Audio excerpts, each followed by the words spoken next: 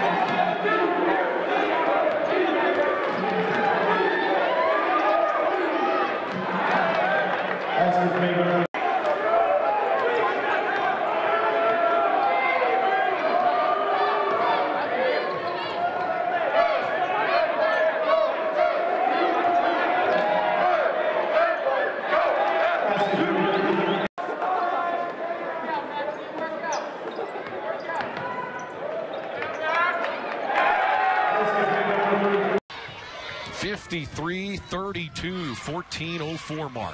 NAU with the lead of the ball right to left. Jacobsen banging away on Joyce. Jump hook in the lane left. Kyle Richardson. Both teams right now getting productivity in the paint right now, coach. That's right. Uh, both teams being very aggressive around the offensive glass. Martin hands it. Well, he was going to hand it to Upshur, but then Upshur's got to run without the ball. Gets it to Jacobsen. Jacobsen, left block, jump hook, bounces on the rim. It's good. Looked like he almost shot the ball down at the basket. 10-50 mark. It's 52 to 39. Jacobsen wants a three. Bang! Getting close to five minutes to go. NAU up 70 to 49.